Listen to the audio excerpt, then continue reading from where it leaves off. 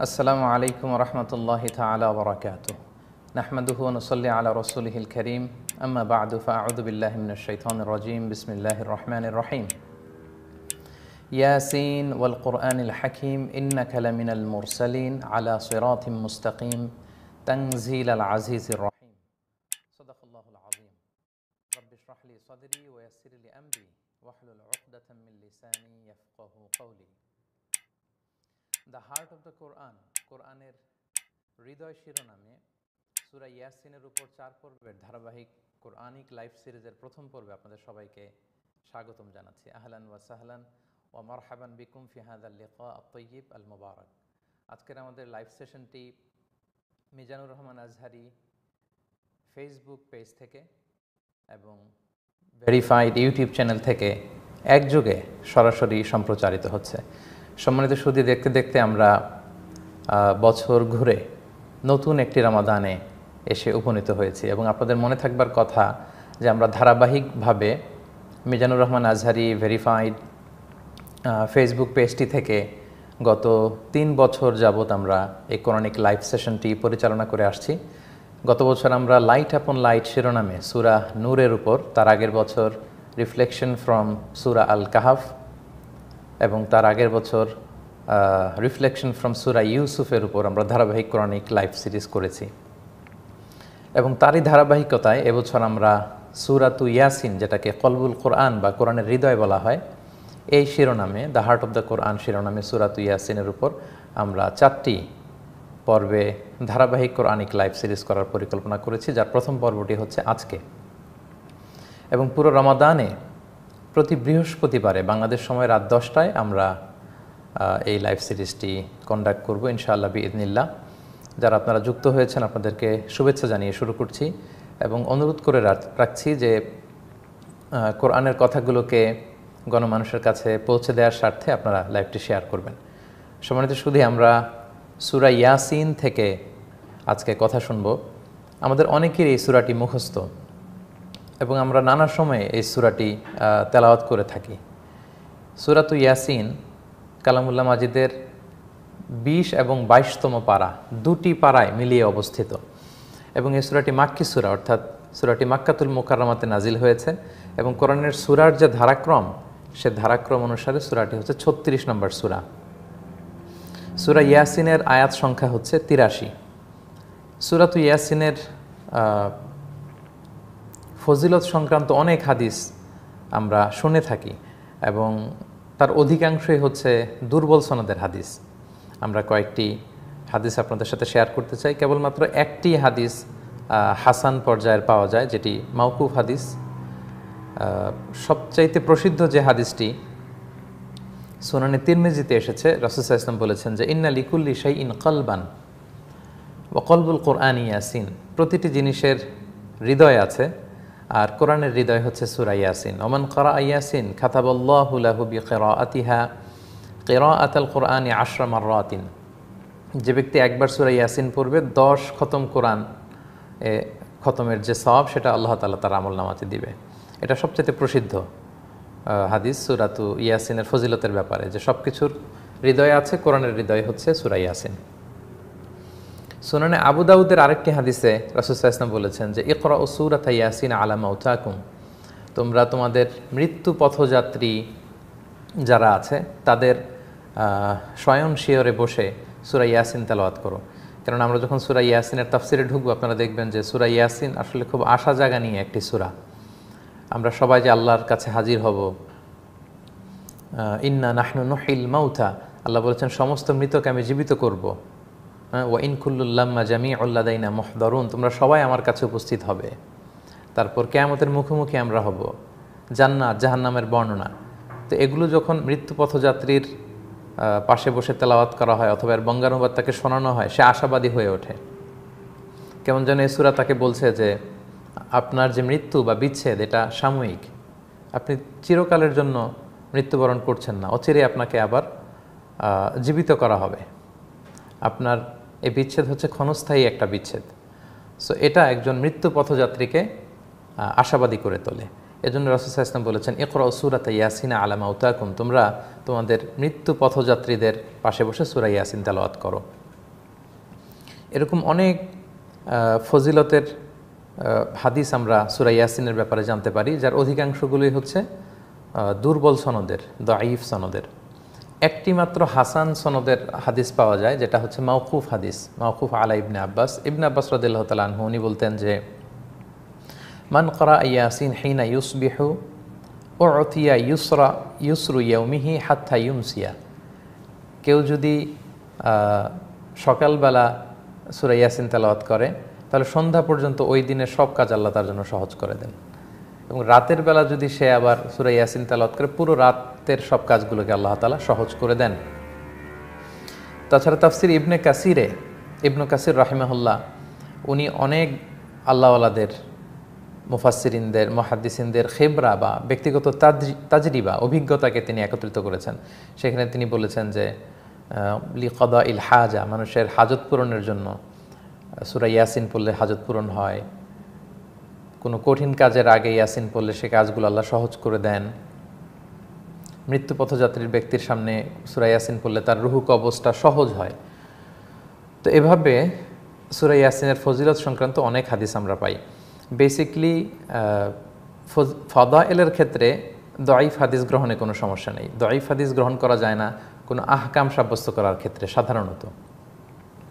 অথবা কোনো আকিদা সুবুত করার ক্ষেত্রে দয়ফ হাদিস রিসিভ করা যায় না অ্যাকসেপ্ট করা যায় না। অথবা আল্লাহর সিফাত বর্ণনার ক্ষেত্রে দয়ফ হাদিসকে ব্যবহার করা যায় না। কিন্তু ফাদা ইলুল আমাল কিংবা ফাদা ইলুল সুয়ার বা যে কোনো ফজিলত প্রসঙ্গে দয়ফ হাদিসকে গ্রহণ করা যায়।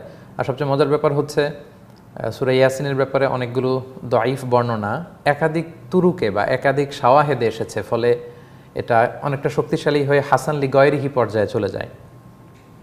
তো এজন্য এই সুরাটাকে আল্লাহ নানা ধরনের বৈশিষ্ট্যে বৈশিষ্ট্যমণ্ডিত করেছেন।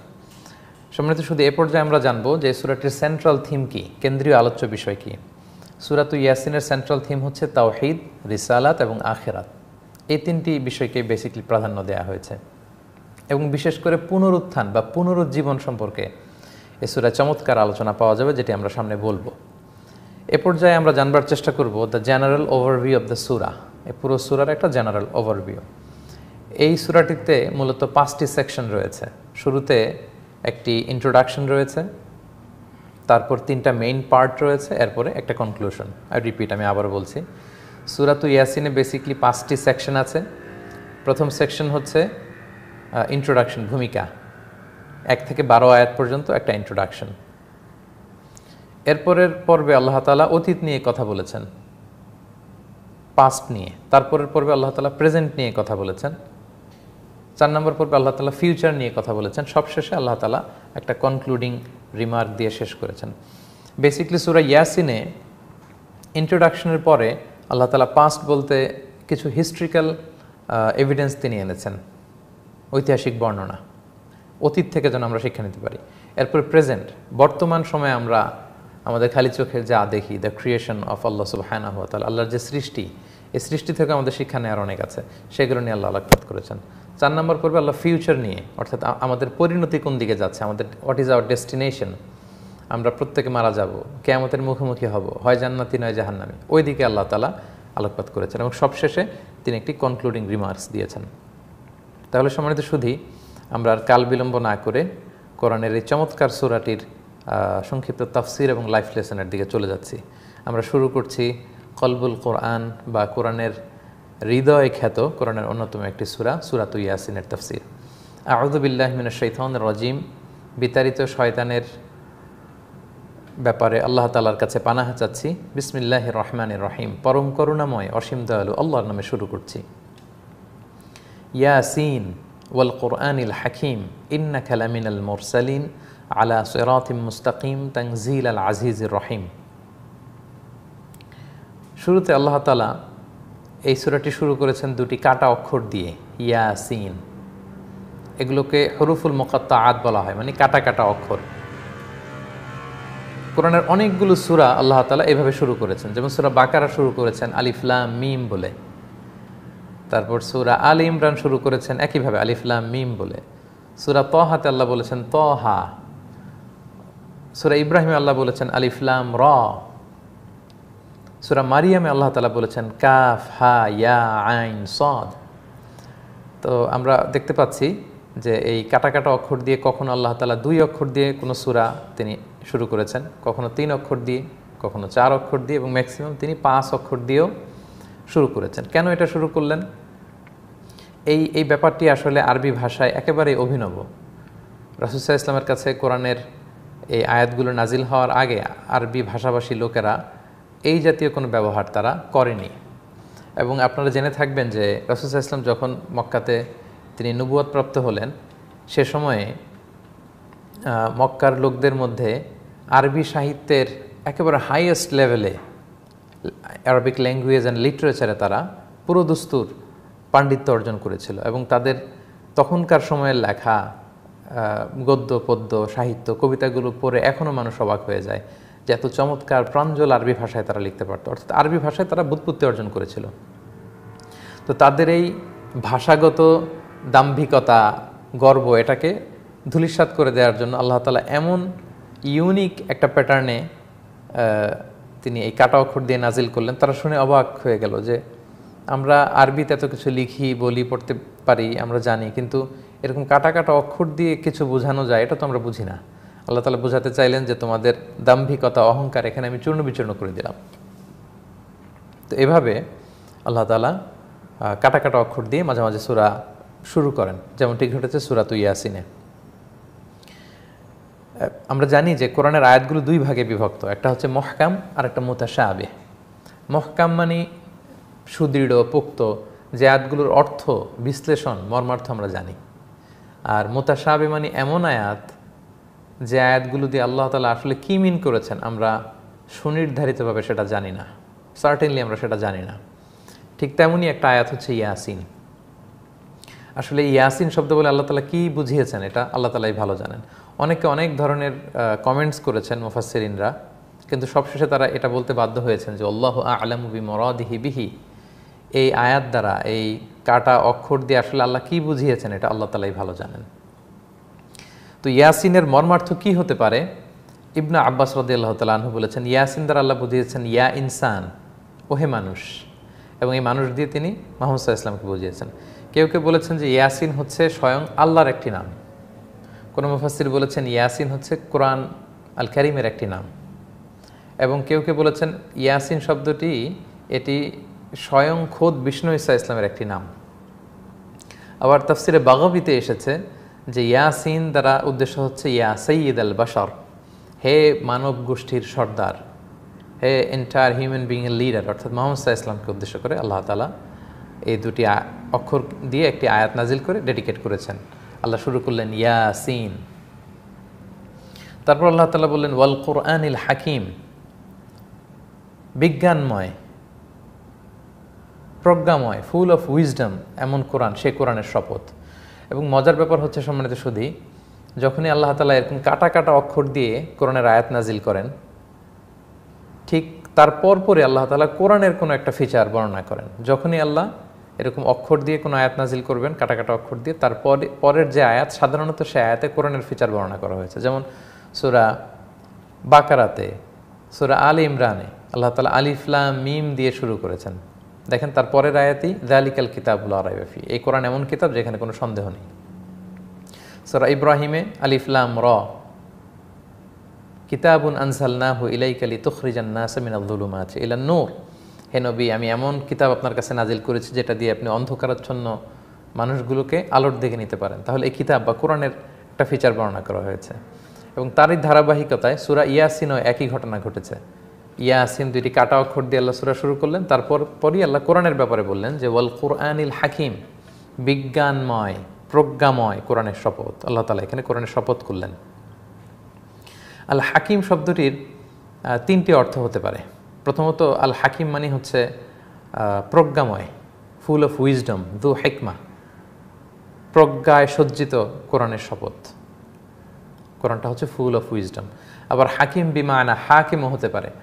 হাকিম মানে হচ্ছে জাজ। কোরআন জাজ করতে পারে জাস্টিফাই করতে পারে।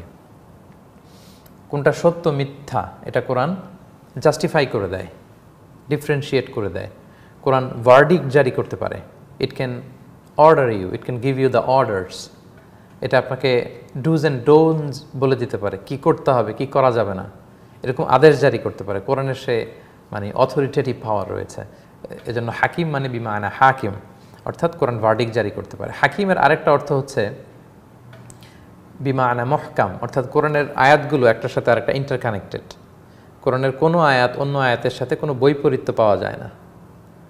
এখানে একরকম, ওখানে আরেক রকম এমনটা পাওয়া যায় না। বরং well knit highly connected perfectly connected এটা হচ্ছে কোরআনের একটা বৈশিষ্ট্য। তো পারফেক্টলি কানেক্টেড এবং যেটা ভার্ডিক জারি করতে পারে এবং যেটা ফুল অফ উইজডম, প্রজ্ঞায় সুসজ্জিত, সে কোরআনের শপথ করে আল্লাহ তালা বললেন ইন্না কালামিনাল মোরসালিন। নবী, হে নিশ্চয় আপনি প্রেরিতদের অন্তর্ভুক্ত, মোরসালিন মানে যাকে আল্লাহ তালা চুজ করে প্রেরণ করেছেন, রাসুল হিসেবে অ্যাজ এ ম্যাসেঞ্জার আপনি তাদের অন্তর্ভুক্ত। কারণ রাসুল ইসলাম যখন মাক্কাতে, আমরা শুরুতেই বলেছি যে সুরা ইয়াসিন, এটা মাক্কি সুরা, মাক্কাতুল মোকারামাতে নাজিল হয়েছে। তিনি যখন দাওয়াত দিচ্ছিলেন, সবাই বলতে আরম্ভ করল যে মোহাম্মদ তুমি মিথ্যাবাদী. You are a liar you are a magician you are a poet তুমি কবি, তুমি গণক, তুমি মিথ্যাবাদী, তুমি জাদুকর, এরকম বলতে আরম্ভ করল। তো এরকম একটা মিথ্যা যখন বারবার বলা হয়, তখন মানুষ কনফিউজড হয়ে যায়। আপনি রাস্তায় বেরোলেন, একজন যদি বলে, ভাই, আপনার চেহারাটা এত ফ্যাকাশে দেখাচ্ছে, আপনি অসুস্থ নাকি? অফিসে গেলেন, একজন বলল, ভাই, রাতে কি ঘুম হয় না চেহারাটা এরকম দেখাচ্ছে কেন? আপনি কি সুস্থ আছেন তো? আবার বের হলেন, আরেকজন বলল, আপনাকে এমন লাগতেছে কেন? সবাই যখন আপনাকে বলবে, আপনি অসুস্থ নাকি অসুস্থ নাকি? আপনি কনফিউজড হয়ে যাবেন। আপনার মনে হবে, আসলেই কি আমি একটু অসুস্থ নাকি? তো রাসুসাহ ইসলামকে সবাই যখন এক নাগারে বলে যাচ্ছিল, তুমি মিথ্যাবাদী, তুমি জাদুকর, তুমি গণক, তুমি কবি, তখন রাসুল ইসলাম নিজেও সংশয়ে পড়ে যাচ্ছিলেন, কি রে, আমাকে সবাই মিথ্যাবাদী মিথ্যাবাদী কেন বলতেছে? তো রাসুসাহ ইসলামের মনের এই ধরনের সংশয়, কষ্ট দূর করার জন্য আল্লাহ তালা রাসুল ইসলামকে সান্ত্বনা দিয়ে বললেন যে, আমি আল্লাহ কনফার্ম করছি যে ইন্না খালামিন আল মুরসালিন, আপনি কোরাইশদের কথায় বিভ্রান্ত হবেন না, মন খারাপ করবেন না নাবি। নিশ্চয়ই আপনি প্রেরিতদের অন্তর্ভুক্ত, রাসুলদের অন্তর্ভুক্ত। অর্থাৎ you have a you have you have a long history you have a strong legacy আপনি একানন এবং রাসুসাহ ইসলাম হি ইজ নট অ্যালোন। এটাও বুঝাতে চাইলেন যে আপনি মুরসালিন।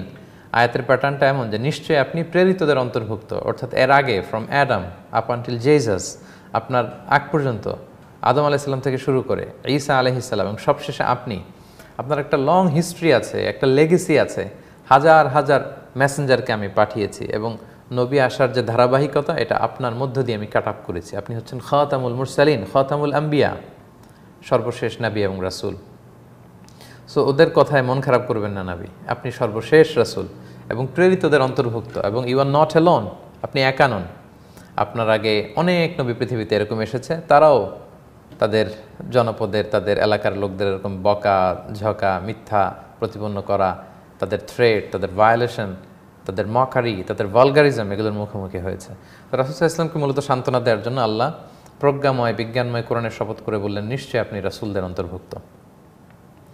এরপর আল্লাহ বললেন, আলা সেরাতিম মুস্তাকিম, আপনি সরল, সহজ, সঠিক পথের উপর আছেন। আপনার ওদের ওদের কানা ঘুষায় আপনি ভাববেন না যে আপনি কি ভুল পথে আছেন নাকি? না, আপনার কাছে রেভেলেশন আসে। আপনি মন গড়া কথা বলেন না। You have a long history হাজার হাজার নবীরা যেটা বলেছে, একই কথা আপনি বলেন। এবং মজার ব্যাপার হচ্ছে, কবি সাহিত্যিকদের কথার মধ্যে পার্থক্য পাওয়া যায়। ফিলোসফারদের কথায় পার্থক্য থাকে। এক ফিলোসোফার একটা বলে, তারপরে আরেকজন আরেকটা বলে। বিজ্ঞানীদের কথায় পার্থক্য থাকে। এক বিজ্ঞানী একটা বলে, এরপরে আরেক বিজ্ঞানী আরেকটা বলে। সাহিত্যিকদের কথায় পার্থক্য থাকে। একজন একটা বলে, আরেকজন আরেকটা বলে। কিন্তু নবীরা, কোনো নবী বলেছে আল্লাহ একজন, আরেক নবী এসে বলেছে না দুইজন হতে পারে, তিনজনও হতে পারে এমন কি কখনো হয়েছে? হয়নি। কোনো নবী বলেছেন যে আখিরাত বলে একটা ব্যাপার আছে, মৃত্যুর পরে আবার জীবিত করা হবে। আবার আরেক নবী এসে বলল, না, আখিরাত নাও থাকতে পারে। এরকম কি কখনো হয়েছে? হয় নাই। কারণ তারা মন গড়া কোনো কথা বলতেন না। তারা কথা বলতেন একটা সেন্টার থেকে সেন্ট্রাল জায়গা থেকে একটা হেডকোয়ার্টার থেকে তাদের কাছে গাইডেন্স ইনস্ট্রাকশন আসতো, সেইটার বেসিসে তারা কথা বলতেন। এজন্য কবিদের কথায় পার্থক্য থাকে, নবীদের কথায় কোনো পার্থক্য থাকে না। দার্শনিকদের কথায় কন্ট্রোভার্সি থাকে, পার্থক্য থাকে ডিফারেন্সেস থাকে, নবীদের কথায় কোনো পার্থক্য থাকে না, একটা হারমোনি থাকে। তো আল্লাহ বললেন, নবী হ্যাঁ আপনি রাসুলদের অন্তর্ভুক্ত এবং আলা সেরাত মুস্তাকিম you are on the right track you are on the straight path সেরাতুল মুস্তাকিমের উপর আপনি আছেন। এবং আপনার কাছে যে কোরআন নাজিল হচ্ছে, এটা হচ্ছে তানজিল আল আজিজ রহিম, পরাক্রমশালী, দয়াময়, আল্লাহর কাছ থেকে নাজিল হওয়া। মানে এটা আপনি বানিয়ে বলেন না। তারা যে বলে আপনি বানিয়ে বানিয়ে কোরআন রচনা করেন না। এটা তনজিল, নাজিল হয় আল আজিজ রাহিম। এমন সত্তার কাছ থেকে যিনি হচ্ছেন আজিজ, আল্লাহ তালার দুইটা সিফাতি আল্লাহ এখানে বললেন। এক নম্বর হচ্ছে আজিজ মানে পরাক্রমশালী দ্য মোস্ট পাওয়ারফুল গোটা বিশ্ব যার সিদ্ধান্তের কাছে মুখ থুবড়ে পড়ে থাকে। সবাই তাদের চাহিদা পূরণের জন্য তার কাছে ঠেকা, কিন্তু তিনি কারও কাছে ঠেকা নন। তিনি কারও মুখাপেক্ষী নন। তিনি হচ্ছেন আল্লাহ আজিজ মহাপরাক্রমশালী। তো আল্লাহ আজিজ বলে আল্লাহ তালা কুরাইশদের বোঝাতে চাইলেন যে, তোমরা যে ইমান আনো না, আমি চাইলে কিন্তু যা ইচ্ছে তা আমি করতে পারি। ফা আল উল্লিমা ইউরিদ। পূর্ববর্তী জাতিদেরকে যেভাবে আমি ধ্বংস করেছি, তোমাদেরও করতে পারি। আমি হচ্ছে আজিজ মহাপরাক্রমশালী, the superior. The most dominant the most powerful তো আল্লাহ আজিজ শুনে আবার মনে হতে পারে তিনি কি অনেক এত পাওয়ারফুল তাহলে তো আমরা ভুল করে ফেললে তিনি হয়তো ক্ষমা করবেন না। আল্লাহ তালা সে সংশয় কাটিয়ে দেওয়ার জন্য আরও একটি সিফাতি নাম তিনি ব্যবহার করলেন। তিনি বললেন, না, আমি কেবল আল আজিজই নই, আমি হচ্ছে আর রাহিম, মেহেরবান। আমি মেহেরবান, ভুল হলে আমি ক্ষমা করে দেই। দুইটার সমন্বয়ে তিনি নিজেকে উপস্থাপন করলেন যে কোরআনটা এসেছে তানজিল কার পক্ষ থেকে নাজিল হয়েছে? আল আজিজ, মহাপরাক্রমশালী এবং আর রাহিম, তিনি দয়াময় মেহেরবান। কেন আল্লাহ এই কোরআনকে নাজিল করলেন? লিতুনজির কৌমাম্মা উনজির যাতে করে আপনি এই কোরাইশ জাতিকে সতর্ক করতে পারেন।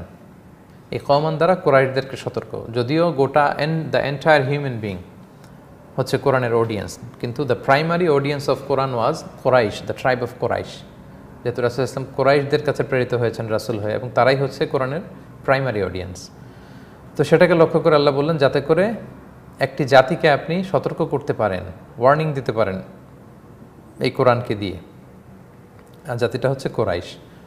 এবং এই জাতির মা উনজেরা আবাহন তাদের যে পূর্বপুরুষ আছে, তাদের অ্যানসেস্টার যারা আছে, তাদেরকে সতর্ক করা হয়নি for the long period of time দীর্ঘ সময় ধরে যাদেরকে সতর্ক করা হয়নি। কত সময়? Approximately more than six hundred years gap ছিল। জেসাস ক্রাইস্টের এন্তেকালের পর থেকে রাসুসাহ ইসলাম ইসা আলাইসলামের পর থেকে মোহাম্মদ ইসলাম পর্যন্ত লম্বা প্রায় ছয়শো বছরের সিক্স হান্ড্রেড ইয়ার্সের একটা গ্যাপ আল্লাহ বললেন যে এই ছয়শো বছরে কোনো রসুল পাঠিয়ে তাদেরকে সতর্ক করা হয়নি। ফলে ফাহুম গফিলুন, তারা উদাসীন হয়ে গিয়েছে। সত্য গ্রহণে, সত্য রিসিভ করার ব্যাপারে তারা উদাসীন। তাদেরকে সতর্ক করার জন্য আমি এই কোরআনকে পাঠিয়েছি। কিন্তু বাস্তবতা যেটা দেখা গেল, রাসুল ইসলাম যখন এই মহাসত্যের সন্ধান পেলেন, এই কোরআনকে তাদের কাছে উপস্থাপন করলেন, সুন্দরভাবে প্রেজেন্ট করলেন, তারা একের পর গোয়ার তুমি শুরু করল তাল বাহানা শুরু করল, রাসুল ইসলামের দাওয়াতকে প্রত্যাখ্যান করল। এবং জেনে বুঝে তারা এটা করল। কোরআন যে সত্য, এটা তারা বুঝতে পারে, কারণ রাসুসাহ ইসলাম কখনো কোনো কবির কাছে যাননি, পুরো জীবনে। কোনো গণকের কাছে যাননি। মক্কার বাইরেও খুব একটা যাননি। কারও কাছে যে কিছু শিখেননি। এর আগে তিনি লিখতেনও না, পড়তেনও না। এরকম একজন লোক যার মুখে কোনো এরকম কবিতা শোনা যায়নি, কোনো সাহিত্য শোনা যায়নি। হঠাৎ করে এই লোক এরকম চমৎকার চমৎকার বাক্য বিন্যাস সম্বলিত আয়াত কীভাবে মানুষের সামনে উপস্থাপন করে? এবং তারা সুস্পষ্টভাবেই তাদের মধ্যে যারা বড় পণ্ডিত ছিল, তারা বুঝতে পেরেছিল কোনো মানুষের পক্ষে কোরআনের মতো এরকম বাক্য রচনা সম্ভব নয়। তারা খুব ভালো করে জানতো যে এটা আল্লাহ তালার পক্ষ থেকে নাজিল হওয়া। জেনে শুনে যখন তারা কোরআনকে প্রত্যাখ্যান করল রাসুসাহ ইসলামকে প্রত্যাখ্যান করল, আল্লাহ বললেন লাখদা হাক্কল কৌলু আলা আকসারিহিম। তাদের অধিকাংশের উপর জেনে বুঝে কোরআনকে অস্বীকার করার কারণে তাদের হৃদয়ে যে সিলগালা করে দেয়া হবে, এই ব্যাপারটি সুনিশ্চিত হয়ে গিয়েছে। ফাহুম লাইউ মিনুন এখন আর ইমান আনবে না। যেহেতু সত্য কোনটা তারা জানে। সত্যের সন্ধান পেয়ে, সত্যকে চিনতে পেরেও যারা সত্য গ্রহণে আগ্রহী হয় না, তাদেরকে আল্লাহ তালা হেদায়ত দেন না। যারা সত্য গ্রহণ করতে চায়, তাদেরকে আল্লাহ তালা হেদায়ত দেন।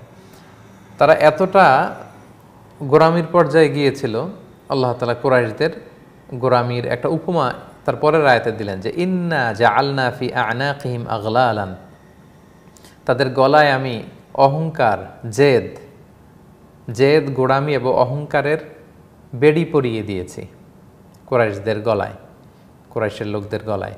ফাহিয়া ইলাল আদখান এবং সেই অহংকার বা জেদ বা গোয়ার তুমির বেড়ি, এটা গলা থেকে উপরে উঠতে উঠতে তাদের চিবুক পর্যন্ত আপ আনটিল দেয়ার চিন চিবুক পর্যন্ত এইভাবে পেঁচিয়ে গিয়েছে, ফলে ফাহুম মুখ মাহুন তাদের মাথা ঊর্ধ্বমুখী, আকাশমুখী। অর্থাৎ অহংকারে পা মাটিতে পড়ে না, আমরা একটা কথা বলি। মাথা এত উঁচু, নাক এত উঁচু, তারা জেদের কারণে, অহংকারের কারণে নিচের দিকে তাকায় না। সত্য কোনটা সেটা গ্রহণ করতে চায় না।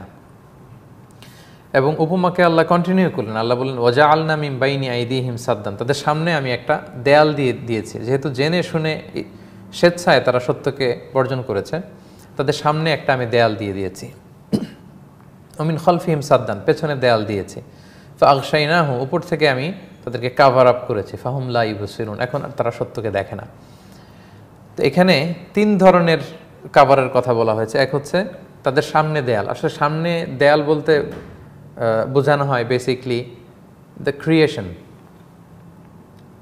the creation of আল্লাহ সুবাহানা তালা আপনি মহাসত্যের সন্ধান যদি পেতে চান to reach until the truth সত্যের কাছে পৌঁছতে হলে তিনটা ওয়ে আছে। এক নম্বর ওয়ে ওয়ে হচ্ছে observing the creation through observing the creation of আল্লাহ সুবাহানা তালা আল্লাহর সৃষ্টিকে অবজার্ভ করে আপনি বুঝতে পারবেন যে আল্লাহ তালা আছেন। সাল্লাহ বলেছেন, তাদের সামনে আমি দেয়াল দিয়েছি। মানে তারা আর দেখে না। তারা নিজেদের দিকে তাকাতে পারে না। আপনি আপনার দেহের দিকে যদি তাকান, আপনার হৃদয়, আপনার হার্ট কীভাবে কাজ করে, আপনার লিভার কীভাবে ফাংশন করে, আপনার কিডনি কীভাবে ফাংশন করে, আপনার জাস্ট দেহের বডি ফাংশনিংয়ের দিকে তাকালে আপনি বুঝবেন যে এটার একজন চমৎকার স্রষ্টা আছে। আপনি যদি খোলা আকাশের দিকে তাকান আপনি সাগরের দিকে তাকান, আপনি মরুভূমির দিকে তাকান, আপনি যখন বৃষ্টির দিকে তাকাবেন, আপনি মহাশূন্যের দিকে যখন তাকাবেন, মেঘের দিকে তাকাবেন, বজ্রপাতের দিকে তাকাবেন, এগুলো দেখলে আপনি বুঝবেন যে এমনি এমনি মহাবিশ্বে এগুলো সৃষ্টি হতে পারে না। তার মানে through observing the creation of আল্লাহ সুবাহানা হুয়া তালা আপনি সত্যের দিকে পৌঁছতে পারেন। আল্লাহ বলেন, তারা যেহেতু স্বেচ্ছায় সত্যকে গ্রহণ করেনি, এই পথটা আমি রুদ্ধ করে দিয়েছি। আমি একটা ওয়াল সেট করে দিয়েছি, গেল। আচ্ছা সত্যের কাছাকাছি পৌঁছার আরেকটা ওয়ে হচ্ছে হিস্ট্রি থেকে আপনি সত্যকে জানতে পারবেন। আল্লাহ বলেন, তাদের পেছনে আমি দেয়াল দিয়েছি। পেছনে দেয়াল দিয়ে আল্লাহ বোঝাতে চাইলেন যে হিস্ট্রি তারা হিস্ট্রি থেকেও শিক্ষা নেয় না। কেননা আজ জাতিকে ধ্বংস করা হয়েছে, সামুদ জাতিকে ধ্বংস করা হয়েছে, এগুলো বেশি দূরে না। তারা যখন সামারে তাদের ক্যারাভেন যায়, তাদের কাফেলা যখন ব্যবসায় যায়, তারা কিন্তু আজ জাতির, সামুদ জাতির যে ধ্বংসাবশেষ, সেগুলো দেখে আসে। তো এগুলো দেখেও তারা ইতিহাস থেকে শিক্ষা নিতে চায় না। এর কারণ আল্লাহ তালা তাদের পেছনে দেয়াল দিয়েছেন। আর না হম উপর দিয়ে কাভার আপ করা হয়েছে মানে সত্যকে জানতে পারার তিনটা মাধ্যমে আমি বলেছি। এক হচ্ছে ক্রিয়েশনের মাধ্যমে, সেটাও ব্লগ হিস্ট্রির মাধ্যমে, সেটাও ব্লগ আরেকটা হচ্ছে রেভেলেশন আকাশ থেকে যে বার্তা আসে, মহাবার্তা, এই রেভেলেশনের মাধ্যমে সত্যকে চেনা যায়, যেটা আল্লাহ যুগে যুগে রাসুলদের মাধ্যমে পাঠান। তো সেই রেভুলেশনও তারা প্রত্যাখ্যান করেছে। ফলে আল্লাহ বলেন আমি উপর দিয়েও কাভার আপ করেছি। I put a wall in front of them I set a wall behind them and I cover them from above উপর থেকে আমি কাভার আপ করেছি। ফলে সত্যকে জানার, সত্যকে চেনার আর কোনো ওয়ে তাদের নেই। আল্লাহ বললেন, ফাহুম লা ইউবসিরুন। এখন তারা আর দেখতে পায় না। তারা সত্যকে আর চিনতে পারে না। এই হচ্ছে কোরআশদের অবস্থা। আল্লাহ তালা কন্টিনিউ করছেন। তারপরে আল্লাহ তালা বলছেন ওয়াসাওয়া উন আলাইহিম। নবী হে আনজারতাহুম আমলাম তুনজির হুম লা মিনুন তাদের অবস্থা এতটাই শোচনীয় যে আপনি তাদেরকে সতর্ক করেন ওয়ার্নিং দেন আর না দেন। লা মিনুন ওরা ইমান আনবে না। এটা ডিসাইডেড কারণ আল্লাহ তালা তাদেরকে ইমানের মতো এই সম্মানিত সম্মানিত জিনিসের সৌভাগ্য তাদেরকে দান করেন যারা সত্যকে জেনে বুঝে সেটাকে গ্রহণ করতে চায়, আলিঙ্গন করতে চায়। কিন্তু সত্য জানার পরেও যারা গোয়ার তুমি করে, জেদ করে, গোরামি করে, তাদেরকে আল্লাহ কখনো হেদায়ত দেন না। সেটাই আল্লাহ বলেন যে, আপনার কমের অধিকাংশের অবস্থা এরকম যে, আপনি তাদের সতর্ক করেন আর না করেন। তারা ইমান আনবে না। ইমান কারা আনবে? ইন্নামা ধুমদির ওমান ইত্তাবা আদিকরা যারা উপদেশকে গ্রহণ করে, যারা কোরআনের বাণীকে মেনে নেয়, তাদেরকে আপনি যদি সতর্ক করেন, সেটাতে কাজে আসবে। এবং ওয়াখশিয়ার রহমান আবিল গঈব না দেখে যারা আল্লাহকে ভয় করে, তাদেরকে যখন আপনি সতর্ক করবেন, এই সতর্ক, এই ওয়ার্নিংয়ে কাজে আসবে। কিন্তু যারা জেদ ধরে বসে আছে গো ধরে বসে আছে, তাদেরকে ওয়ার্নিং দিলে কোনো কাজ হবে না। যারা সত্যকে গ্রহণ করতে চায়, উপদেশ গ্রহণ করে ফাবা শিরহু আপনি তাদেরকে সুসংবাদ দিন। বিমা গুফিরাতিন ক্ষমার ও আজরিং করিম, এবং সম্মানীয়, সম্মানিত প্রতিদান, সম্মানজনক প্রতিদানের সুসংবাদ আপনি তাদেরকে দিন। এরপর আল্লাহ তালা বললেন, ইন্না নাহনু নোহ ইল মাউতা। নিশ্চয়ই আমি মৃতকে জীবিত করব। একজন মানুষ যখন মৃত্যুবরণ করে, আসলে এটা তার মৃত্যু না। এটা চিরস্থায়ী মৃত্যু নয়। অচিরে আল্লাহ তালা তাকে আবার পুনরুজ্জীবন দান করবেন, পুনরুত্থিত করবেন। এটা তার হচ্ছে দুনিয়া থেকে ক্ষণস্থায়ী একটা বিদায়। ওয়ানাক্থুবু মা কদ্দামু আসারহম। এরপর আল্লাহ বললেন, শুধু আমি মৃতকে জীবিতই করব, এটা না। ওয়ানাক্থুবু মা কদ্দামু, তারা দুনিয়াতে যা করেছে, আখেরাতের জন্য যা প্রেরণ করেছে, এটাকে আমি রেকর্ড করে রাখি। ওয়া আসারহম, এবং তাদের আসার, তারা দুনিয়াতে কাজ করার পরে এটার যে ইফেক্ট আফটার ইফেক্ট যেটা এটাকেও আমি রেকর্ড করে রাখি। আসারের দুইটা তাফসির এসছে। একটা তাফসির হচ্ছে আমরা কোনো কাজ করার পরে দুনিয়াতে জেনারেশন টু জেনারেশন যে ইফেক্ট থাকে সেটা আল্লাহ রেকর্ড করে রাখে। যেমন আমি একটা ভালো কাজ করলাম। আমি একটা সোশ্যাল ওয়েলফেয়ারের প্রজেক্ট করলাম। আমি সদাকায় জারিয়ার জন্য মসজিদ করলাম, কূপ করলাম মেডিকেল সার্ভিসের জন্য একটা হসপিটাল করে দিলাম। বছরের পর বছর জেনারেশন টু জেনারেশন মানুষ এটা থেকে উপকৃত হচ্ছে। এটা হচ্ছে আসার। আল্লাহ এগুলো রেকর্ড করে রাখেন। আমি দুনিয়া থেকে চলে যাব, কিন্তু আল্লাহ তালা আমার আমল নামাতে এটা যুক্ত করব এটা হচ্ছে আসারের এক নম্বর তফসিল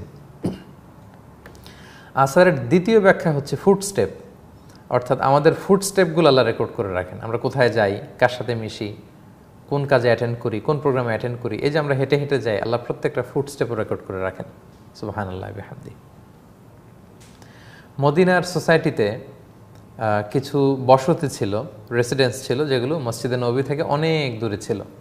তো নামাজের সময় ওনাদের আসতে দেরি হতো। তারা একবার রাসুল ইসলামের সাথে কনসাল্ট করলেন যে রাসুল্লাহ আমাদের বাসা তো অনেক দূরে, আমরা চাচ্ছি শিফট হয়ে মসজিদে নবীর কাছাকাছি চলে আসব। তো রাসুল ইসলাম বললেন, না, তোমরা এই কাজ করো না। কারণ তোমরা দূরে থাকার কারণে, ওখান থেকে হেঁটে হেঁটে যে আসো, তোমাদের প্রতিটা ফুড স্টেপের কারণে পদাঙ্কের কারণে আল্লাহ তালা তোমাদের আমল নামে এক্সট্রা সব লিখে দিচ্ছে। সুবাহান আল্লাহ হামদি তাহলে এই আসারগুলোকে আল্লাহ তালা রেকর্ড করে রাখবেন। এরপর আল্লাহ বললেন, ওয়াকুল্লা সেই ইন আহসাইনা হুফি ইমাম মুবিন। সব কিছুকে আমি ইমাম মুবিন নামক একটা সংরক্ষণ করার মতো জায়গায় সংরক্ষণ করে রাখছে। সব কিছু ওয়াকুল্লা সেই ইন এভরিথিং ইজ রেকর্ডেড ইমাম মুবিন, আপনার আমল নামায়। কেউ কেউ বলেছেন, ইমাম মুবিন মানে হচ্ছে লৌহে মাহফুজ, সেখানে সংরক্ষিত। আপনি যা বলেন মাই আলফিদুমিন খৌলিন ইল্লা আলাদাইহি রকিবুন আতিদ। আপনি যা মুখ দিয়ে উচ্চারণ করেন, রেকর্ড হয়ে থাকে। আপনি যা করেন, রেকর্ড হয়ে থাকে। আপনি হেঁটে হেঁটে যেখানে যান, এই ফুড স্টেপ রেকর্ড হয়ে থাকে। আপনার আফটার ওয়ার্ক ইফেক্ট, এটা রেকর্ড করা থাকে। জন্য আল্লাহ বলেন ওয়াকুল্লা সেই ইন আহসাইনা হুফি ইমাম মুবিন। সব কিছুকে আমি রেকর্ড করে রাখি। সম্মানিত শুধু এই যে বারোটি আয়াতের আমরা সংক্ষিপ্ত তাফসির শুনলাম, এই বারোটি আয়াত হচ্ছে দ্য ইন্ট্রোডাকশন অফ সুরাত ইয়াসিন যেখানে রাসুসাহ ইসলামকে সান্ত্বনা দেওয়ার জন্য আল্লাহ তালা বললেন, হে নবী, প্রজ্ঞাময় কোরআনের শপথ করে বললাম, আপনি রাসুল, আপনি চিন্তিত হবেন না, বিচলিত হবেন না, আপনি মন খারাপ করবেন না, ওরা যা বলুক, আমি কনফার্মেশন দিচ্ছি, আপনি রাসুল and you are not alone you have a long history you have a long huge legacy rich legacy আপনি রাসুলদের অন্তর্ভুক্ত এবং তাদের সাথে, আপনার সাথে যা করা হচ্ছে এখন, তাদের সাথে তাই করা হয়েছিল। এবং একদিন আমার সামনে তাদেরকে দাঁড়াতে হবে, পাই টু পাই আমি হিসাব নেব। তো তাহলে আমরা ইন্ট্রোডাকশনটা কভার করলাম। সম্রাট শুধু আমরা শুরুতেই বলেছিলাম যে পাঁচটি সেকশনে বিভক্ত সুরাই ইয়াসিন, প্রথমে একটা ইন্ট্রোডাকশন এরপরে আল্লাহ অতীত নিয়ে আলোচনা করবেন একটা সেকশনে তারপরের সেকশনে আল্লাহ বর্তমান নিয়ে আলোচনা করবেন। চার নম্বর সেকশনে আল্লাহ তালা ভবিষ্যৎ নিয়ে আলোচনা করবেন এবং সবশেষে কনক্লুশন থাকবে। তাহলে আমরা দ্বিতীয় সেকশনে চলে যাচ্ছি, যেখানে আল্লাহ তালা অতীত নিয়ে আলোচনা করেছেন। হিস্ট্রিক্যাল একটা ইনসিডেন্ট তিনি আমাদেরকে শোনাবেন। এবং কোরআনের একটা বৈশিষ্ট্য হচ্ছে, কোরআন প্রায়ই ঐতিহাসিক, এমনকি প্রাগৈতিহাসিক বিভিন্ন হিস্ট্রি ঘটনা এনে আমাদেরকে হেদায়েতের রাস্তা দেখায়। কারণ ঘটনা মানুষের হৃদয়ে দাগ কাটে। এমনি নাসিহা উপদেশ। এটা না মানুষ যত শুনতে চায়। মানুষকে যখন গল্প শোনানো হয়, মানুষকে যখন কোনো হিস্ট্রি শেয়ার করা হয়, এটা কিন্তু মানুষের হৃদয়ে দাগ কাটে। এটা ভেরি পাওয়ারফুল তো আল্লাহ তালা একটা পাওয়ারফুল মেসেজ বা পাওয়ারফুল হিস্ট্রিক্যাল এভিডেন্স তিনি এখানে এনেছেন এবং তিনি বললেন যে, নবী হে, আপনি কোরাইশদেরকে এই ঘটনাটা শোনান যে তারা তো আপনাকে মানতে চাইছে না। পূর্ববর্তী সময়ে একটা জাতির ঘটনা শোনান যারা নবীদের কথা শোনেনি, ফলে তাদের কি পরিণতি হয়েছিল এটা আপনি তাদেরকে শোনান। তেরো নম্বর আয়াত থেকে আমরা দ্বিতীয় সেকশনে চলে যাই। আল্লাহ তালা বললেন ওয়াদরিবুল্লাহুম্মাসালান আসহাব আল করিয়া। অর্থাৎ, হে নবী, আপনি কোরাইশদেরকে একটা জনপদের অধিবাসীদের ব্যাপারে দৃষ্টান্ত তাদেরকে দেন বা শোনান। তাদেরকে একটা জনপদের অধিবাসী ছিল, তাদের দৃষ্টান্ত দেন। ইদ জা আহল মুরসালুন, যেই জনপদের অধিবাসীদের কাছে রাসুলরা এসেছিল, যাদেরকে আমি রাসুল বানিয়ে ম্যাসেঞ্জার বানিয়ে বাণীবাহক বানিয়ে পৃথিবীতে পাঠিয়েছি, তারা এসেছিল। যেমন আপনি এসেছেন মক্কায় কুরাইশদের কাছে, তারা আপনার দাওয়াতকে রিজেক্ট করছে। একটা জনপদের লোকদের কাছে আমি কিছু রাসুল পাঠিয়েছিলাম, একাধিক রাসুল। এখন কোন সে জনপদ, এটা আল্লাহ তালা স্পেসিফাই করেননি। মজার ব্যাপার হচ্ছে, কোরআনে আমাদের হেদায়তের জন্য যা যা দরকার, যতটুকু দরকার, আল্লাহ ঠিক ততটুকু বলেছেন। আমাদেরও উচিত অতটুকুতে ফোকাস দেয়া। আমরা অনেক সময় অপ্রয়োজনীয় বিষয়ে খুব বেশি ফোকাস দিতে শুরু করি। যেমন, নুহ আলাইসাল্লামকে আল্লাহ তালা একটা নৌকা বানাতে বলেছেন, তিনি বানিয়েছিলেন এবং প্লাবন থেকে আল্লাহ তালা রক্ষা করেছিলেন। অনেক, অনেকে প্রশ্ন করে, এই নৌকা কোন কাঠ দিয়ে তৈরি ছিল? সেগুন কাঠ দিয়ে না, কড়াই কাঠ দিয়ে না, ওই কাঠ দিয়ে? আসলে কোন কাঠ দিয়ে নু আলাইসাল্লাম এই নৌকা বানিয়েছিলেন এটা আমাদের হেদায়তের জন্য জরুরি না। যদি না রাসুসাহ ইসলাম বা আল্লাহ তালা আমাদেরকে না জানান। তো এখানেও আল্লাহ বললেন, একটা আসহাবুল করিয়া মানে পিপল অফ এ টাউন একটা জনপদের অধিবাসীদের দৃষ্টান্ত আপনি দেন। কোন জনপদ আল্লাহ বলেননি, কিন্তু অনেক মুফাসিররা বলেছেন, গবেষণা করে যে এটা তুরস্কের আন্তাকিয়া জনপদ হতে পারে। যাদের কাছে আল্লাহ তালা রাসুল প্রেরণ করেছিলেন।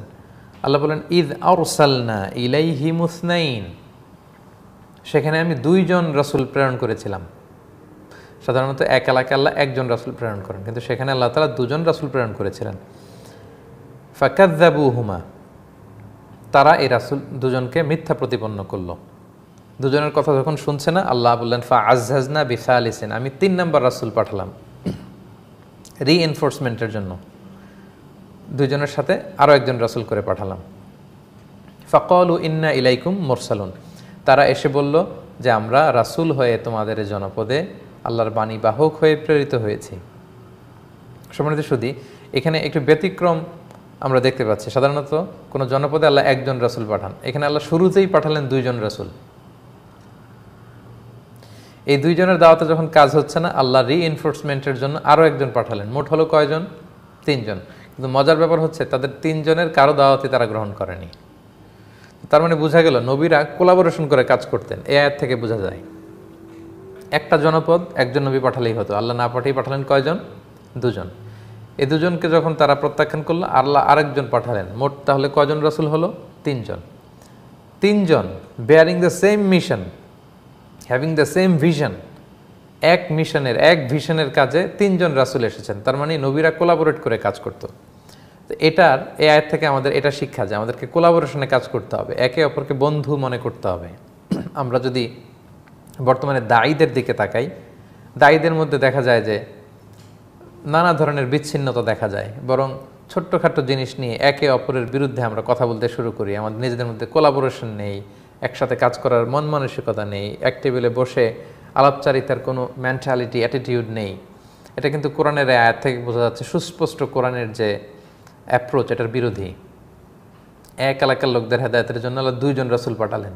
এখানে কে প্রধান, কে সেকেন্ডারি এটা কোনো বিষয় না। আমরা আলোচনা করতে গেলেও দেখা যায় একজন প্রধান, তারপরে মধ্যম, তারপরে অনেক ধরনের ক্লারিফিকেশন আমরা করি। কে বড় হুজুর, কে মেজ হুজুর, কে ছোট হুজুর, কে বড় বক্তা, কে ছোট বক্তা। তো এ আয়ের থেকে বোঝা যায় যে না we have the same mission হ্যাঁ? We we belong the same vision আমাদের একই কাজ, একই মিশন তাহলে এত বিচ্ছেদ কেন? এত ভিন্নতা কেন? এত দ্বন্দ্ব কেন? এত কন্ট্রোভার্সি কেন? তিনজন রাসুল মিলে এক মিশন নিয়ে, তাওহিদ, রিসালাত, আখেরাতের দাওয়া নিয়ে ওনারা গিয়েছেন এবং একে অপরের সাথে কোলাবোরেশন করে কাজ করেছেন। সো আমরা যারা দোয়া তিলাল্লাহ দায়ী আছি, আমাদের মধ্যেও যেন কোলাবোরেশন থাকে এবং আমরা যেন একে অপরকে হিংসা না করি। বরং কোনো দায়ী যদি সুন্দর কাজ করে, ভালো কাজ করে, আমাকে মনে করতে হবে যে এই দায়িত্বটা তো আমার ছিল। তো আমার ভাই করেছে মানে সে আমার দায়িত্বই পালন করে আমার কাজকে তো হালকা করে দিল, সহজ করে দিল। সে আমার কাজই করছে। তো তার জন্য দোয়া করা উচিত এবং নিজেদের মধ্যে কোলাবোরেশন থাকা উচিত।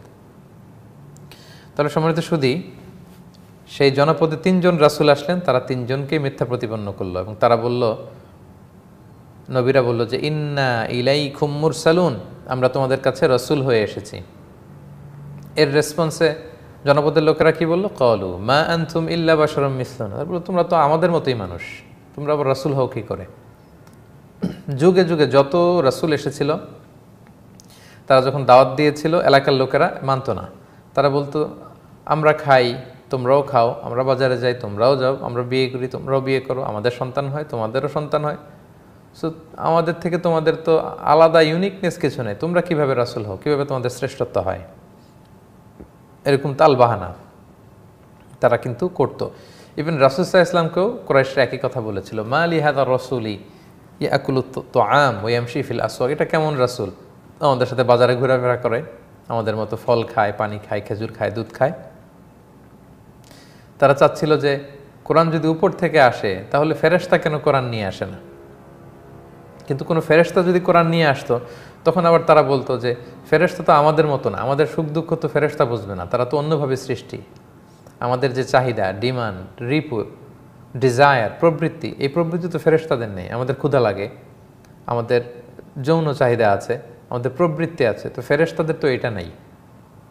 তো ফেরেস্তারা আমাদের রসুল হবে কীভাবে? তারা তো আমাদের দুঃখ কষ্ট বুঝবে না। ফেরেস্তা আসলে তারা এটা বলতো। তো ওই জনপদের লোকদেরও ঠিক একই রেসপন্স ছিল। তারা বলল যে মা আনতুম ইল্লা বাসারম মিসল। তোমরা তো আমাদের মতোই মানুষ। ওমা আংসাল রহমান মিনশা আল্লাহ কিছু নাজিল টাজিল করে নাই। ইন আংতুম ইল্লা তাকে দিবন তোমরা এগুলো বানিয়ে বলতেছো। বানোয়াট। তিনজনই তোমরা মিথ্যাবাদী। মানে কমপ্লিট রিজেকশন তারা রিজেক্ট করল, প্রত্যাখ্যান করল দাওয়াতকে।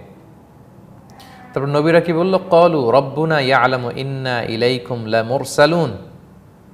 তারা বলল যে, আমাদের রব ভালো করেই জানে। তোমরা না মানতে পারো, তোমরা আমাদেরকে মিথ্যাবাদী বলতে পারো, তবে জেনে রাখো, আল্লাহ তালা ভালো করেই জানে যে আমরা রসুল হয়ে তোমাদের কাছে এসেছি। আর ওয়ামা আলাইনা ইল্লাল বালা মুবিন। আর আমাদের দায়িত্ব হচ্ছে কেবল পৌঁছে দেয়া।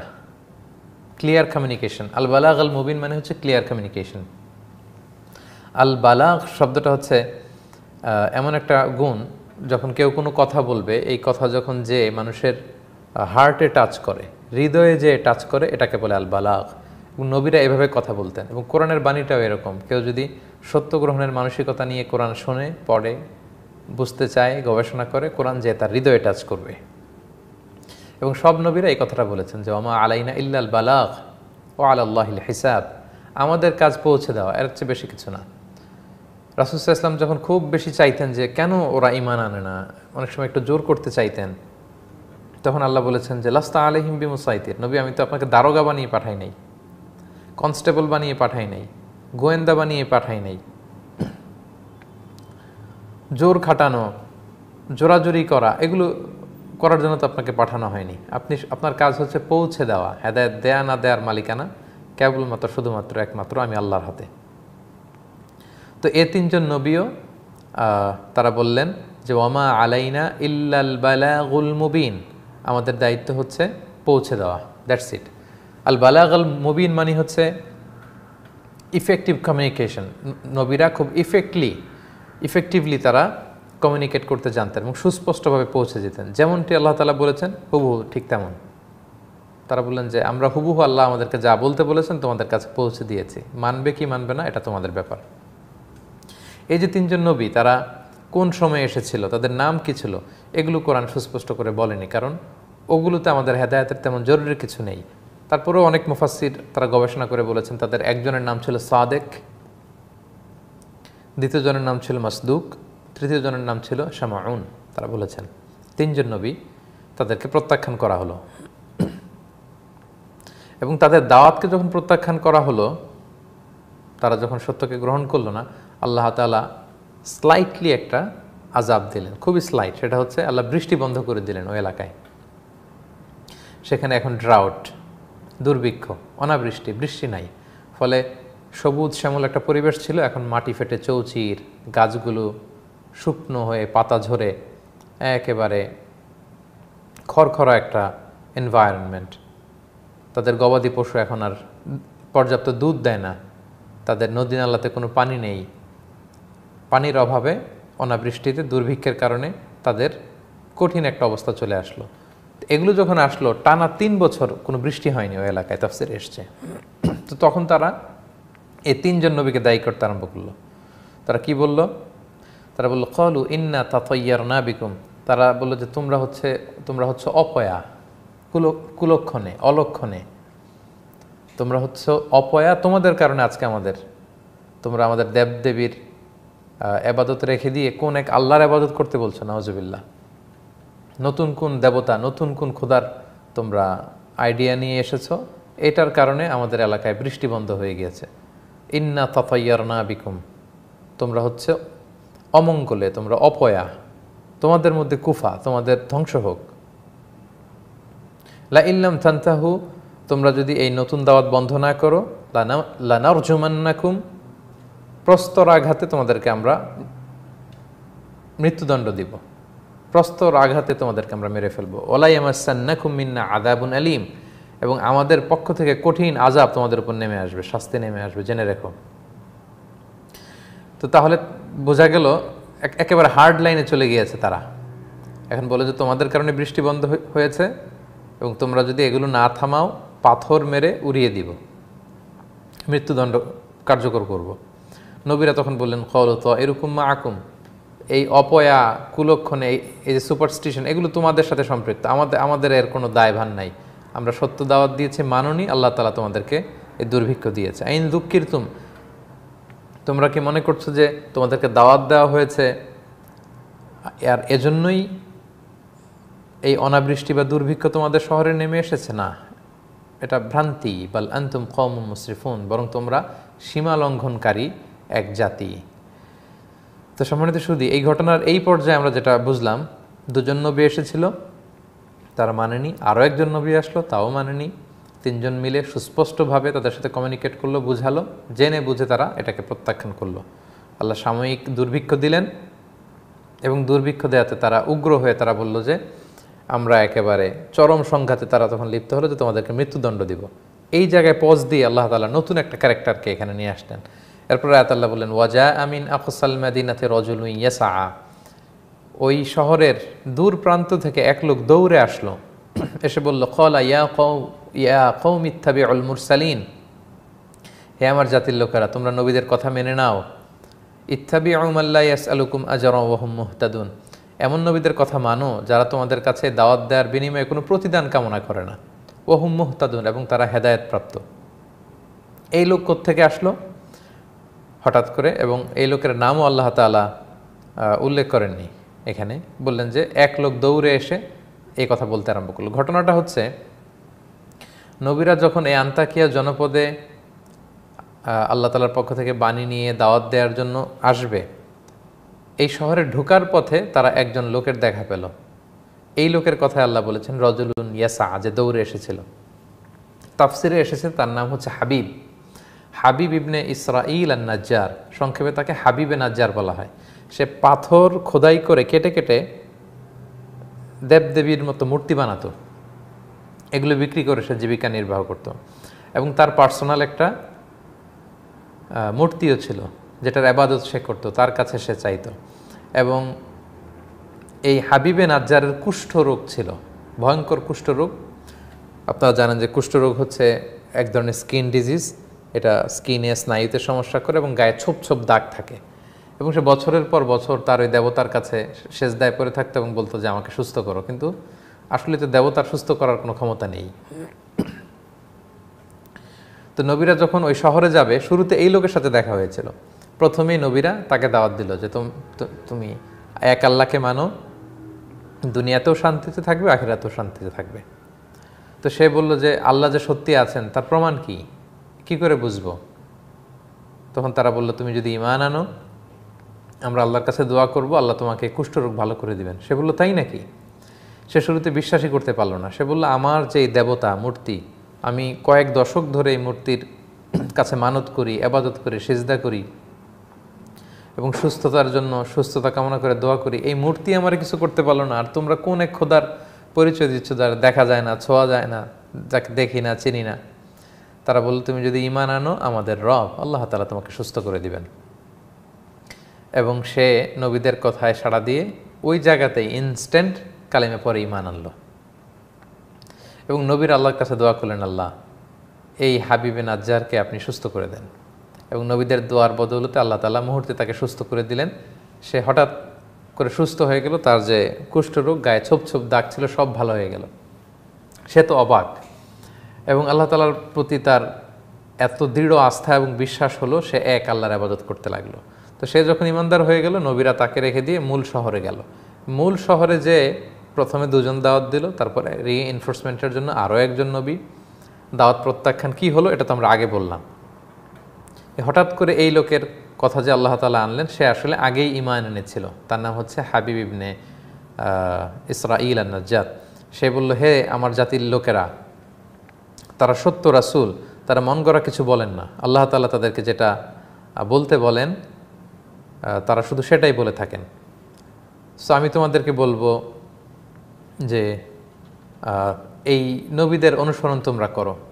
এই কথা শুনে মূল শহরের সবাই তো অবাক কিরে এই লোক আবার কখন ইমান আনলো? তখন তারা আশ্চর্য হয়ে প্রশ্ন করতে আরম্ভ করল, হাবিব, তুমি কি ইমান এনেছো নাকি? তারা যে রবের কথা বলে সে আল্লাহর উপর ইমান এনেছ? তখন সে উত্তরে বলতে লাগল, ওয়ামা আলী আলা ফরানি ওয়া ইলাইহি তুরজাউন। কেন কেন আমি ইমান আনব না সে আল্লাহর প্রতি? কারণ ফফরানি সে আল্লাহ তোমাকে সৃষ্টি করেছেন। ও ইলাইহি তুর জাউন এবং সে আল্লাহর দিকেই তোমরা ফিরে যাবে, তার দিকেই ফিরে যেতে হবে। আত্মা খেদুমিন দুন হি আলিহা? আমি কি সে আল্লাহকে বাদ দিয়ে এই দেবদেবীর পূজা করব? অনেকগুলো এক আল্লাহকে বাদ দিয়ে অনেকগুলো দেবদেবীকে খোদা হিসেবে মেনে নিব? এই ইউরিদিন রহমান বিদুরিল্লা তগ্নি আন্নি সাফা আতহুম সাই আ ওলা ইউম দয়াময় আল্লাহ যদি আমার কোনো ক্ষতি করতে চান, তাহলে তো লা তগ্নি আন্নি সাফা আতহুম এই দেবদেবীর সুপারিশ কোনো কাজে আসবে না। তারা আমার কিছুই করতে পারবে না। ওলা কেদুন তারা আমাকে বাঁচাতেও পারবে না।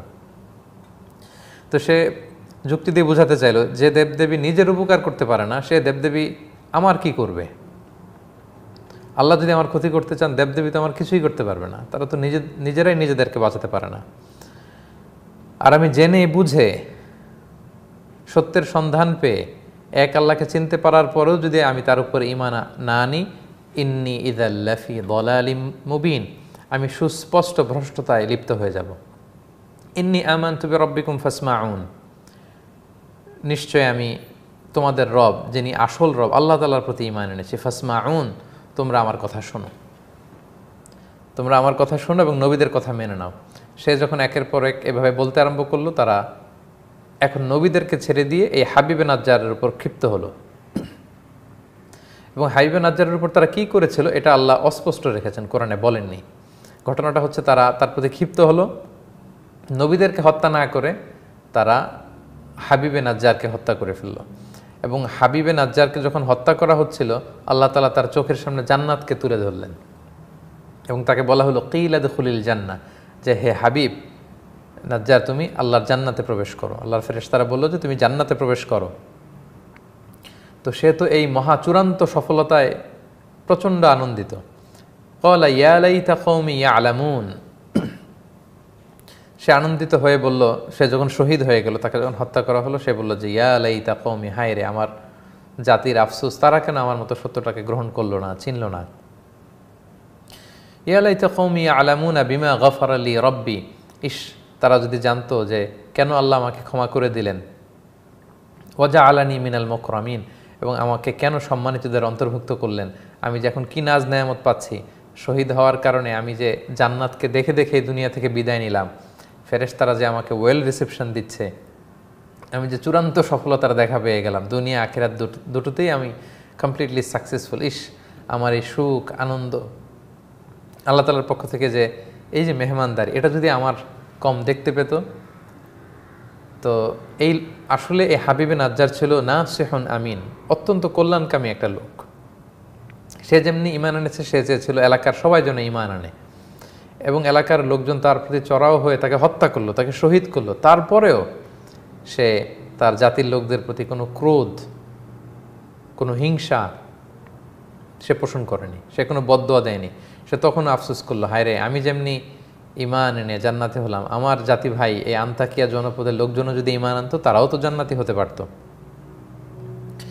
আল্লাহ তালা তখন বললেন, ওয়ামা আনজালনা আলা কৌমিহি মিম বা আদিহি মিন জুন্দিম মিনাসমা ইয়মা কুন্না মুনজিলিন। তারা যখন হাবিব নাজ্জারকে শহীদ করে ফেলল, তার মানে দে ক্রস দ্য লিমিট দুজন নবীর কথা তারা প্রত্যাখ্যান করল। আরেকজন নবী পাঠালাম, সেটাও প্রত্যাখ্যান করল। তাদের মধ্যে থেকে একজন ইমান আনলো এবং তাদেরকে বোঝাতে চাইলো তাদের শুভাকাঙ্ক্ষী হয়ে। তাদের প্রতি শুভকামনা রেখে হিতাকাঙ্ক্ষী হয়ে। এবং সেই তাদের নিজেদের গোত্রের সেই মুমিনকেও তারা যখন হত্যা করল they already cross their limit limit যখন আল্লাহ, পৃথিবীতে কোনো জাতি ক্রস করে, তখন আল্লাহ তালা তাদেরকে আর সুযোগ দেন না। আমি একটা কথা প্রায় বলে থাকি যে আল্লাহ সব সময় ধরেন না। তিনি যখন ধরেন, তিনি আর ছাড় দেন না। যত জাতি পৃথিবীতে, তারা যখন পাপে লিপ্ত, নবীরা দাওয়াত দিতেন, এভাবে দিতেন, ওইভাবে দিতেন, আল্লাহ সুযোগ দিতেন, ছাড় দিতেন। কিন্তু তারা যখন লিমিট ক্রস করতো, আল্লাহ তাদেরকে পাকড়াও করতেন। এবং এই আন্তাকিয়া জনপদের এই লোকেরাও এটাই করেছিল। তারা যখন তাদের লিমিট ক্রস করল, আল্লাহ বললেন, এই জনপদের লোকদের শাস্তি দেওয়ার জন্য দলে দলে আমার আসমান থেকে কোনো, আমার সৈন্য পাঠানোর দরকার নাই। তা আমি কী পাঠাবো? আল্লাহ বললেন ইনকানাত ইল্লা ওয়াহিদা। জাস্ট একটা বিকট আওয়াজ সাউন্ড ওয়েভ একটা বিকট শব্দ নিনাদ আল্লাহ তালা পাঠালেন। প্রচণ্ড সাইহা সৈহা মানে আওয়াজ, বিকট আওয়াজ। মানে কানের পর্দা ফেটে যায় এয়ার বার্স্টিং সাউন্ড একটা সাউন্ড ওয়েভ শব্দ তরঙ্গ, প্রচণ্ড বিকট একটা শব্দ তরঙ্গ আল্লাহ পাঠালেন। আল্লাহ বললেন, ওই শব্দের আওয়াজে ফাইদা হুম খমিদুন। আন্তাকিয়া জনপদের এই দাওয়াতকে যারা প্রত্যাখ্যান করেছে, প্রতিটি মানুষ কানের পর্দা ফেটে লাশ হয়ে জমিনে পড়ে রইল। দেয়ার হিস্ট্রি ইজ ওভার শেষ। এরপর আল্লাহ আফসোস করে বললেন, ইয়া হাসরাথানা আলাল ইবাদ। আফসোস আমার বান্দাদের জন্য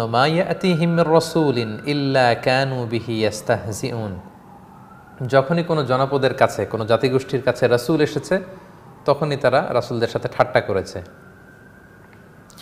তো এই ঘটনা আল্লাহ তালা রাসুলসাহ ইসলামের মাধ্যমে কোরাইশদেরকে শুনিয়ে আল্লাহ বুঝাতে চাইলেন যে, হে কোরাইশরা, তোমরা আমার দাওয়াতকে প্রত্যাখ্যান করছ। তোমরা কি জানো না, পূর্ববর্তীতে যারা নবীদের সাথে ঠাট্টা করেছে, তাদের দাওয়াতকে রিজেক্ট করেছে, তাদের অবস্থা কি হয়েছে? এই তো আন্তাকিয়া জনপদের এই এই লোকদের ঘটনায় তো তোমরা শুনলে, যে আল্লাহ তালা বিকট শব্দ তরঙ্গ পাঠিয়ে তাদের কানের পর্দা ফাটিয়ে সবাইকে শাস্তির মুখোমুখি করে মৃত্যুমুখে পতিত করেছে। এজন্য আল্লাহ তালা তাদেরকে বললেন যে, আলাম ইয়ারাও, কোরাইশরা কি দেখে না? কাম আহলাকনা কবুল আহমিনাল করুন, এর আগে এরকম কত জাতি ধ্বংস করেছি? নুহের কমকে ধ্বংস করেছি, আদ জাতিকে ধ্বংস করেছি, সামুদকে ধ্বংস করেছি, লুত আলাহ সাল্লামের কমকে ধ্বংস করেছি, আন্তাকিয়ার এই জনপদের লোকদেরকে অবাধ্যতার কারণে আমি ধ্বংস করেছি। আন্নাহুম ইলাই হিম লাইয়ারজন তারা আর কখনো তাদের দিকে ফিরে আসবে না। দেয়ার হিস্ট্রি ইজ ওভার ও ইনকুল্লুল্লাম্মা জামি আল্লাদাইনা মহদরুন, এবং তাদের প্রত্যেককেই আমি আল্লাহর কাছে কিন্তু হাজির হতে হবে। কোরআনের একটা বৈশিষ্ট্য হচ্ছে কোরআন নানাভাবে ঘুরিয়ে ফিরিয়ে ঘটনাকে বর্ণনা করে, যাতে করে মানুষ উপদেশ গ্রহণ করে এবং কোনো এক্সকিউজ যেন দাঁড় করাতে না পারে এবং পৃথিবীতে কেউ কোনো দিন আল্লাহর কাছে যে এক্সকিউজ করতে পারবে না যে আল্লাহ সত্য তো আমি বুঝি নাই। আল্লাহ কোনটা সত্য? আমি তো চিনি নাই। সত্য তো আমার কাছে পৌঁছে নাই। আল্লাহ আমি বুঝতে পারি নাই। না। আপনি সত্য চিনার, বোঝার অনেক সুযোগ আপনি পাবেন। অনেকগুলো অপশন পাবেন। You will have a lot of chances in your life অনেক চান্স আপনি পাবেন। এগুলো পেয়েও যখন আপনি গ্রহণ করবেন না, তখনই আল্লাহ তালা আপনাকে পাকড়াও করবে। সম্মানিত সুধি, এই বত্রিশ নম্বর আয়াত পর্যন্ত আল্লাহ তালা হিস্ট্রিক্যাল একটা এভিডেন্স এনে কোরেশদেরকে বোঝাতে চাইলেন যে রাসুসাহ ইসলাম যে দাওয়াত দিচ্ছে, এটা মহাসত্য। এই মহাসত্যকে তোমরা মেনে নাও। আমরা বলেছিলাম যে সুরা ইয়াসিনের প্রথম বারো আয়াতে একটা ইন্ট্রোডাকশন আল্লাহ দিলেন। তারপরে আল্লাহ তালা অতীত নিয়ে আলোচনা করে মানুষকে হেদায়তের রাস্তা দেখাতে চাইলেন। যে আমরা অতীতের একটা তুরস্কের আন্তাকিয়া জনপদের ঘটনা শুনলাম। তার পরের পর্বে আল্লাহ তালা যেটা আমরা নেক্সট পর্বে আলোচনা করব, আল্লাহ তালা বর্তমান নিয়ে, অর্থাৎ আপনার চারিপাশে আপনি আল্লাহ তালার সৃষ্টি, নিখুঁত সৃষ্টি, মহাবিশ্বের যেই নিখুঁত সৃষ্টি, এই শৃঙ্খলা, কীভাবে এগুলো চলে, এগুলো দিয়ে ঘুরিয়ে ফিরিয়ে নানা মেসাল দিয়ে, উপমা দিয়ে, উদাহরণ দিয়ে এক্সাম্পল এনে এনে আল্লাহ তালা আমাদেরকে বোঝাতে চাইবেন। তারপরে আমাদের ডেস্টিনেশন, আমাদের পরিণতি কোন দিকে? আমরা যে কেমতের মুখোমুখি হব। আমরা যে আল্লাহর সামনে দাঁড়াবো বিচারের মুখোমুখি, জান্নাত কিংবা জাহান্নাম, সেই ভবিষ্যতের দিকে যাবেন। তার মানে অতীত দিয়ে আল্লাহ আমাদেরকে শিক্ষা দিতে চাচ্ছেন। বর্তমান থেকে আমরা যেন শিক্ষা নিই, সেটা আল্লাহ আমাদের সামনে উপস্থাপন করেছেন। এবং ভবিষ্যতে আমরা কোথায় যাব, সেই পরিণতির কথা আমাদের চোখে আঙ্গুল দিয়ে আল্লাহ দেখাবেন। এবং সবশেষে একটা কনক্লুডিং রিমার্কস দিয়ে আল্লাহ তালা সুরা ইয়াসিন, শেষ করবেন।